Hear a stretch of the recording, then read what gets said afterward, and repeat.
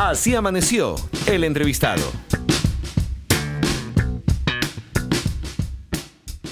Muchísimas fans, muchísima gente aplaudió, aplaudió y fue eh, pues fieles al grupo Menudo. Sin duda alguna marcó la vida de un buen número de personas, no solamente en el Ecuador, sino en el mundo entero. Hoy hay una serie que se titula Súbete a mi moto.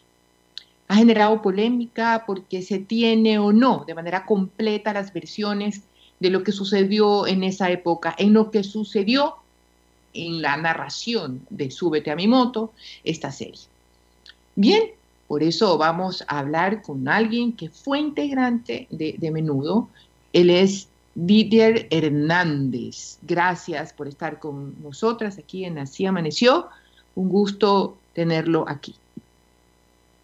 Igualmente, buenos días, este, María Josefa. Saludos a ti y a todas las personas que están conectadas a esta hora desde la ciudad de Miami, eh, Florida. Les mando un fuerte abrazo y bueno, muy contento de poder saludarlos esta mañana y, bueno, compartirles un poquito este, más allá de la serie, ¿no? La, las experiencias y las, las inquietudes que tengan.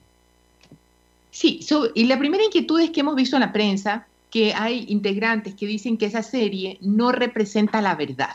Y quisiéramos empezar por eso, la opinión que tengas con relación a esa expresión.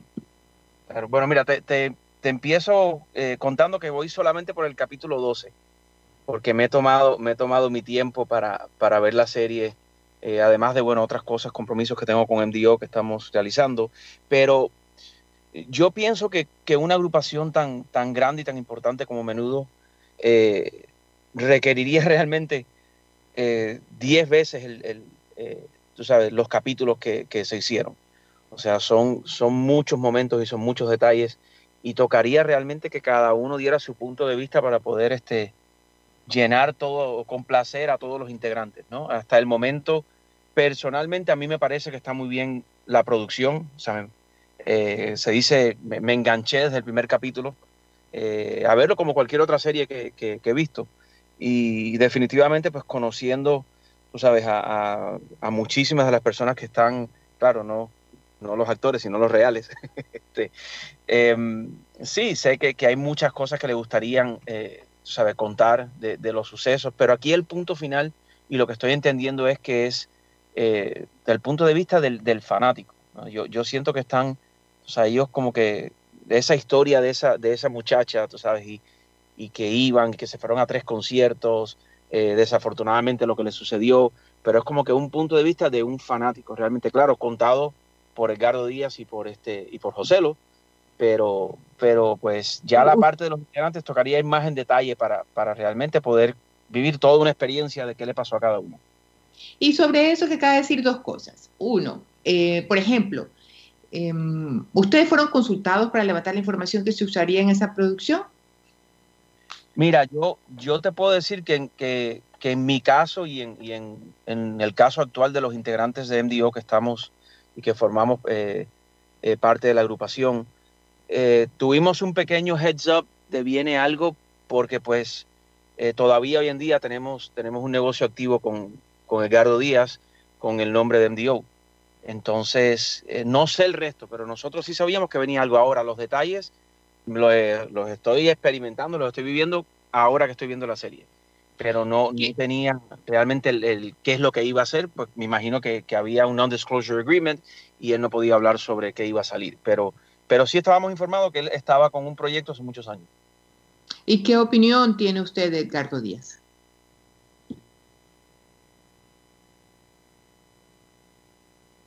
Hola. ¿Aló? Así se, se, fue por un, se, fue por un segundo la llamada. Sí. Ya, ya. ¿Qué opinión tiene usted de Edgardo Díaz? Eh, bueno, yo, yo sinceramente eh, creo que yo hay muchas personas, eh, tenemos a, a Edgardo en, en, en, una posición este, en, en, nuestras vidas de agradecimiento. O sea, yo, yo le agradezco eternamente a Edgardo eh, haberme incluido en la agrupación dentro de casi 200 eh, jóvenes que fueron a, a, a menudo eh, a las audiciones. Yo, tú sabes, como toda la familia, tuvimos, o sea, tuvimos momentos donde, donde nos queríamos matar, tú sabes. Teníamos momentos donde no queríamos ver. pero realmente nunca, o sea, yo creo que la amistad siempre estuvo por encima del negocio, por lo menos en el caso mío. ¿sabes? Yo, yo siempre fui muy cercano, eh, ocupaba el espacio de mi papá eh, y doña Panchi ocupaba el espacio de mi mamá cuando estábamos viajando. yo estoy y estaré siempre eternamente agradecido por eso y creo que debido a eso pues tenemos, o sea, todavía en día una, una, una relación de, de negocio y una relación de amigos. Este, desafortunadamente no es el caso de todos los integrantes de la, de la, agrupación y en cierto caso lo puedo entender porque vivieron cosas diferentes que viví yo. Eh, y te quiero dar un ejemplo nada más. O sea, afortunadamente para mí, pues realmente nunca fui despedido de la agrupación porque yo fui básicamente el, el último integrante de, de, Menudo.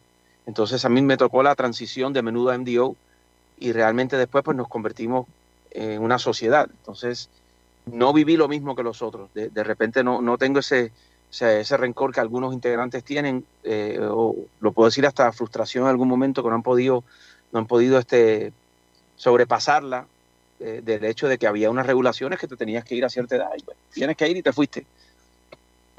¿Y usted tiene relación aún, te mantiene algún contacto con, con, con los ex integrantes fundadores de Menudo? Eh, mira, nosotros con MDO, cuando nos, nos reunimos, en el año 2011 empezamos a hacer varias fechas y nos invitaron a ser parte de algunos, de algunos eventos tipo reunión, este, eh, menudomanía, y tuvimos la oportunidad de, de, trabajar directamente con integrantes del, del, pasado. En cuestión del equipo de trabajo, o sea, me da mucha risa porque, porque por ejemplo, yo todavía hablo con José Antonio Jiménez, eh, es más, hace cuatro días le marqué eh, a saludar, este, tú sabes, hay, hay, hay contacto directamente con, con, lo que fue el equipo, o sea, con Estela, eh, hablamos hace poquito, que también fue coreógrafa, con Luis Roberto, estamos haciendo lo de Boy Band Experience, que es un proyecto que pues desafortunadamente está atrasado por lo de, por lo de la pandemia. Y en mi caso sí, like, yo me mantengo en contacto con todo el mundo, o sea, yo hice muy bonitas amistades eh, en la agrupación, sabes, hermanos, de toda la vida en la agrupación. Y, y, hoy por hoy tengo muchos integrantes y no quiero mencionarlos porque son muchísimos que los considero, o sea, mis hermanos mayores, eh, a muchos de ellos muy buenos amigos.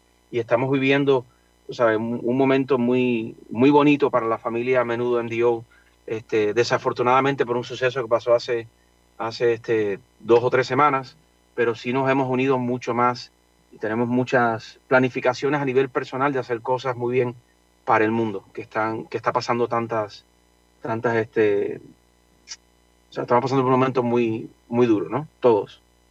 Y es por la depresión, ¿no? Que hubo ese evento de suicidio que, que, pues, que le ha pasado a algunas personas que no pueden manejar la frustración de no poder salir, de no poder, de, de no poder realizarse como profesional. La pandemia, la pandemia afecta, la pandemia mata. Eh, estábamos hablando ayer que, eh, tú sabes, el, el promedio de suicidio ha subido el 47% desde la pandemia. Eh, y nosotros, o sea, desafortunadamente nos tocó directo, ¿no? Con, con, un compañero de la agrupación y pues ha sido muy duro, ha sido muy duro para, para todos, tú sabes, momentos de, de reflexionar, lógicamente, de, de, ¿cómo se dice? Mend, de arreglar, ¿no? Este, cualquier situación, cualquier indiferencia de trabajo, pero, pero creo que nos tranquiliza, por lo menos a los más cercanos, eh, ¿sabes? De, de, nuestro hermano Edgar Antonio Galindo, eh, el hecho de que en algunos comentarios que él había puesto, o sea, estaba claro que no estábamos trabajando, pero seguíamos bien, o sea, como, como amigos seguíamos bien. Eh, lo que pasa que pues no, no teníamos esa comunicación directa, eh, porque pues él estaba en otro lugar y esas cosas suceden, ¿no? No solamente con, con colegas, amigos y hermanos, o sea, pasa con familia. Yo tengo primos míos que a veces pasa un año, dos años y no hablo con ellos pero no significa que no lo quiero, ni que deja de ser mi primo, ni que deja de ser mi amigo. Sí, pero hay gente que necesita en mayor proporción el contacto humano, la calidez, el cariño, con pandemia o sin pandemia. Cuando vemos el desenvolvimiento de las personas en la sociedad, sea en nuestra familia, en nuestro trabajo, siempre tenemos un familiar que, como decimos aquí en Ecuador, es un poco más engreído, necesita un tratamiento más delicado, más cariñoso, más cálido. En el trabajo lo mismo, tal vez eso fue lo que pasó. Claro, María José, definitivamente no sabemos eh, qué está pasando por, por la vida de, de, muchas de nuestras amistades, ¿no? Y creo que esa es la lección la lección de vida que, tenemos y, te comento que tenemos un chat privado eh, que, estuvimos haciendo oraciones para, tú sabes, en, el momento de, del hospital y cuando nos enteramos y hay muchos amigos de, de Menudo y MDO que, que se han, se han este, añadido, se han, eh, se han sumado a, a, esto, ¿no? Y nosotros de cierta manera ayudándonos entre nosotros mismos, inclusive, eh, tú sabes, otro de los integrantes desafortunadamente en el velorio, bajando al velorio de, de, Garito, el hermano, el hermano falleció, nos estamos dando eh, soporte, tú sabes, entre nosotros, porque la realidad es que nosotros crecimos juntos, o sea, esto es como pasa a los muchachos que van al colegio, ¿no? Y son amigos del colegio, pues este fue el colegio de nosotros, o sea, la agrupación fue el colegio de nosotros y son los amigos de toda la vida. Y este, nada, solamente esperamos eh, con los planes que estamos haciendo, poder ayudar, eh, ayudarnos primero que, que, que, todo a nosotros mismos, entre nosotros, y lógicamente poder llevar un mensaje a, a, nuestros seguidores que, que, no están solos y estamos buscando empresas que, que, ¿sabes? que ayudan a, a este tipo de causas. Sí, estar juntos a través del chat, la tecnología tiene esa posibilidad que nos hace sentir cerca en momentos difíciles. Es como cuando enfrentas una ola grande, estás al pie de la playa, tienes el agua del mar por encima de los tobillos o por las rodillas, pero si estás agarrado de las manos como con un círculo o como una, una cadena humana, el golpe, el golpe no va a ser tan fuerte.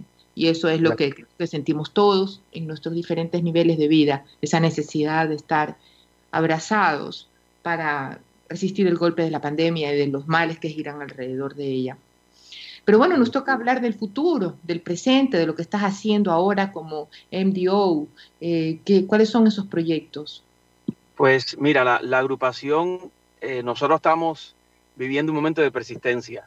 Em, estamos grabando música, te puedo decir que mucho más eh, frecuente de lo normal.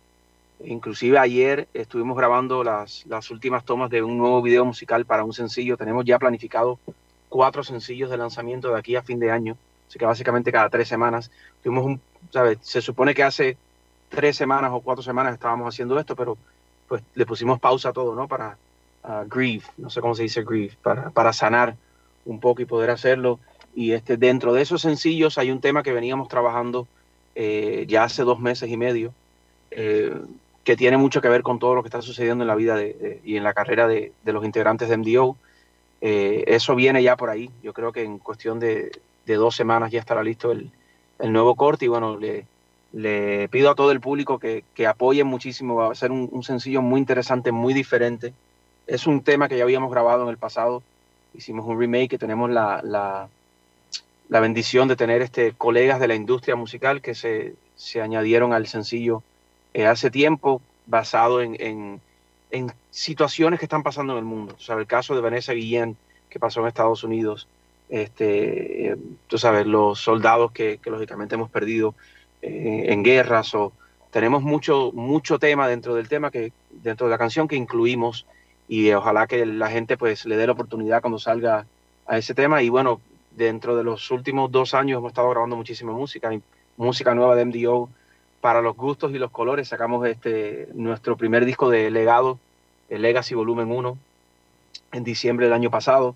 Estamos trabajando en Legacy Volumen 2 y la idea es seguir haciendo música, este, también dándonos un espacio para individual, eh, cada uno poder hacer eh, cosas solos, porque eh, es justo también que pues de repente queremos hacer algún género musical o decir algo en las letras de las canciones que como grupo no se, no se puede porque no encaja, pero nos estamos dando la oportunidad de individualmente hacerlo Alex, Abel y yo, que somos el, el o sea, digamos que los, los que estamos activos, los socios del, del nombre con, con, Edgardo Díaz, este, y, y, bueno, creo que el resto de los integrantes saben que las puertas en Dios siempre están abiertas. Nosotros tenemos una gira que estamos haciendo en México, empieza el año que viene con eh, muchísimas agrupaciones de los 90, está eh, Mercurio, Magneto, eh, Los Hijos de Sánchez, UF, bueno, Euforia ahora, este, Cairo, Tierra Cero, eh, si se me queda alguno que me disculpen porque son muchísimos grupos y,